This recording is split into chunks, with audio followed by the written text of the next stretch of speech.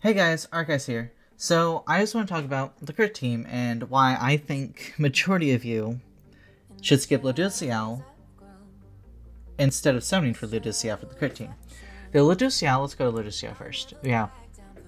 He is top tier. He is an amazing unit. His cards are really good. His passive, uh, I'm sorry, what has to? His grace is really good. His ultimate is really good. But his passive is what makes him so good for the crit team. But the thing about his passive is that he has he's basically a well. You have to literally get all his cosmetics completely 100% maxed. You have to get him 6 out of 6. HP defense full 6 UR gear with perfect stat rolls on both the main stat and the substats. You gotta make sure he's guaranteed to go to have CC higher than majority of other people. Of course, there are some people who can't even get ahead because there are a lot of people at CC above him. Actually, let me go pull up the CC list so I can show you exactly. So this is a list uh, compiled by a few JV players, right? I got it from someone on Twitter. Um, so Ludociel is down here 21, right? 54, 9, 21. Green Easton, Blue Fat King, Blue Diane, Green Diane, Green Fat King, Blue Zeldris, Green Estarossa, Red Sariel, Red Fat King, Blue Drill, Red Estarossa, Red Zeldris, Tarmiel, Green Joel, Lostvayne, Green Escanor, Goddess Liz, Red Escanor, the One Escanor, Festival King are all above him. So let's say you're facing, let's say you're in like um, top 100, right? And someone is actually like they fully invested into a team. They maxed them out and includes, let's say, the Liz team, right? Well, multiple of the Liz units, you know, that you would normally see, like Goddess Liz, let's Meliodas, they're all above CC Ludociel. So someone have is like, they maxed these two, just like you maxed your Ludociel. The Ludociel's passive won't activate against these two.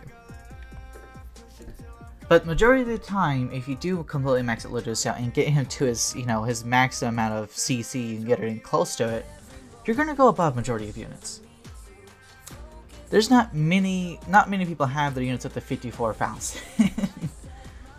so you can actually get your if you actually fully invest to them, then I say go for them. But majority of you that are going to be on the crit team are probably free to play, and I wouldn't recommend going for him. Because with Global's breakneck pace, banners every single week, Sariel's going to come probably beginning of February. That's what I'm guessing. Somewhere around February. Unless they make all three Archangels on one banner, then he's probably going to be coming next week. So, in all honesty, with even you though his passive is so good to increase defense-related stats with 4% for 3 turns when he enters battle, for people who are CC lower than him, I st I just think that he's not worth it unless you're fully going to invest into him.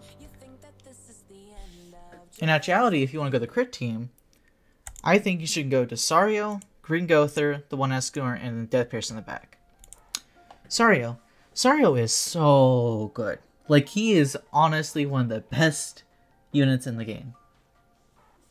Increases basic stats of Goddess allies by 20% of the hero's basic stats. And his stats are actually pretty good, by the way. They're actually really good stats. His uh, first tech is an AoE Sever. Sever is 2 times crit chance. Uh, 3 times crit. I'm sorry, it got buffed. I mean, it's 2 times. It got buffed to 3 times. And of course, he has Power Strike as a single target. Power Strike is an additional damage based on enemy's resistance. So if you're facing Valenti, who has a lot of resistance, well... yeah. And then um, he has a Sever ultimate that's single target. He hits really hard. And his Grace, his Grace is top tier as well. Like, even if you don't want to use him as a crit team, but you want to use someone else in the crit team, if you still have him, you put his Grace as, say, the one Escanor, right? If a critical strike occurs when the hero uses a skill, ignore 50% of the enemy's critical defense. So let's say you don't want to use him on the main crit team, right? You use someone else. You put him uh, under the one Escanor's um, association unit. You get that grace. The grace, the how graces work, they go to the unit that you uh, as the main unit. So if you use an Archangel as an association unit, the grace goes to the main unit. So we go to the one Escanor, and he would be even more stronger than what he is. Even though normally he's hitting like 200 to 300k. he gets really, really hard, by the way. Uh, the one Escanor, we know what he does. He's really, really good. He's probably, I consider, one of the best units in the game. Um, I would also consider him probably the second, no. Yeah, probably the second, no, third, yeah, it's the third best festival unit. King being the worst, Goddesses being the best, Lawson being second.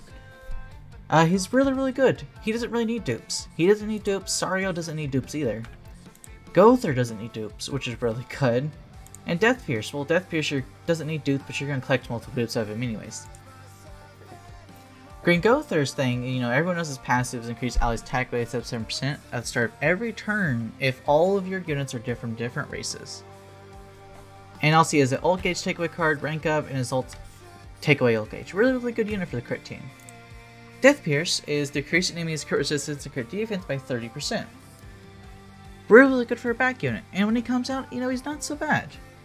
In all actuality and like ungeared, I've actually had him come out and like um, on JVPVP, and he's not that bad actually. I have actually won matches when he came out because I had his attack cards.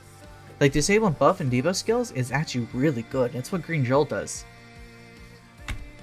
It then shatters the uh, the better of the two when it comes to doing damage, because shatter you know ignores resistance. Um, this is the team I'm going to be going for on global. This I wish I had this team on JP. I don't. I don't have Sario or Green Gowther, so I run uh, Escanor, Blossbane, Zeldris, Red Zeldris specifically, and Deathpierce in the back. Really, really good team actually. It's a good. It's a good team. It works. And the reason why I think he's shown for the one also is because he like he works in so many teams. He works in the Goddess Liz team. He works in the team I mentioned, basic Demon Brother team, but you replace Estarossa with him. He works in the crit team. He just has multiple teams he works on. He also is pretty good for some PvE events. Let's say Tower Challenge. I use him in Tower Challenge. Uh, I did it for this run specifically because he hits so hard. I used him in Tower Challenge and just basically went through it with the Green Arthur you hit. Speaking of, let's actually go look at the Green Arthur. Actually, let's go to the main. Reason why Green Green Arthur also comes with the one. He's the free unit you get in level 80, six star for free, right? Increases allies' damage dealt by 35% and decreases allies' damage taken by 35% if all allies are alive. This is really, really good, by the way. This is top tier. He is probably the best unit to take in Tower Challenge because of this passive.